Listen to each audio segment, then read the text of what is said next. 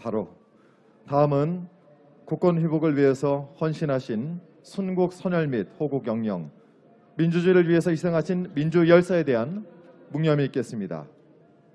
일동 묵념.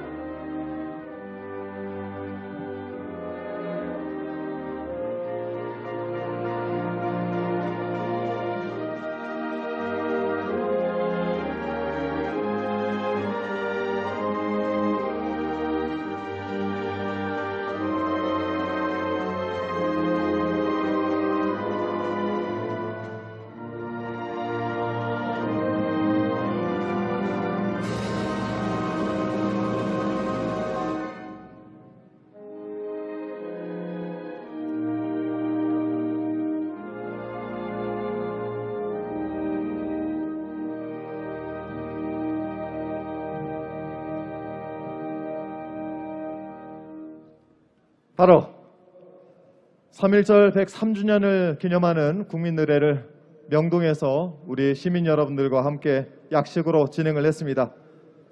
자 그러면 사랑하는 서울 시민 여러분 유능한 경제 대통령 대한민국의 통합의 대통령 자랑스러운 우리 민주당 이재명 대통령 후보를 뜨거운 박수로 맞아주시기 바랍니다. 이재명! 한번 더!